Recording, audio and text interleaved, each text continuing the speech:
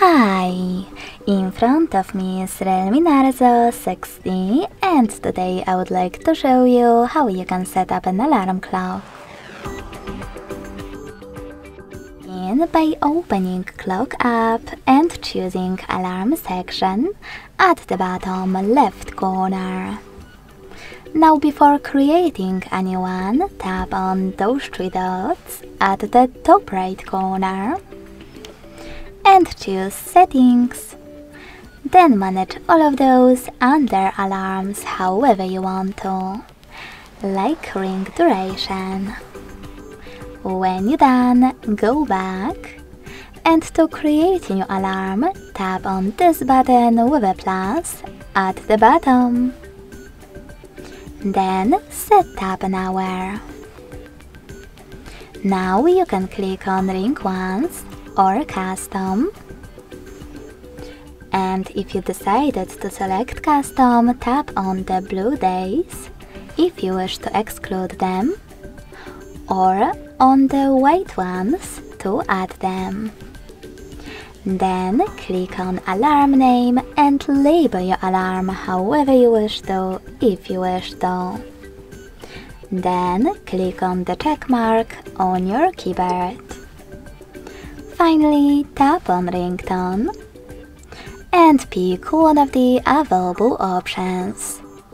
Whether adaptive or, for example, Spotify. If you wish to use it, tap on Sign in to Spotify and then use music from it.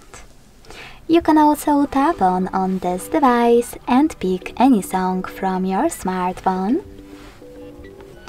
Or just select one of those system ringtones. Whatever you do, when you're done, go back and tap on this switcher next to vibrate to disable or enable haptic feedback. Now select snooze. If you wish to switch it off, tap on the blue switcher next to it. To turn it on, click on the grey one. Then adjust those two options to decide how many minutes your snooze will take and how many times it will repeat. After going back this time, you can finally save your alarm by tapping on this check mark at the top right corner. As you can see, my alarm was successfully created.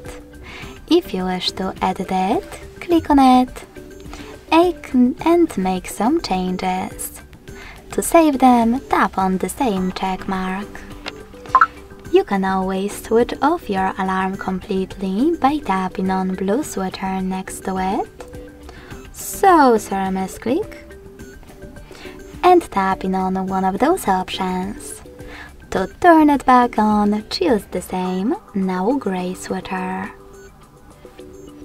You can also get rid of your alarm by holding it and tapping on delete at the bottom. Thanks so much for watching. If you enjoyed this video, don't forget to leave a like, comment and subscribe. Bye! thank you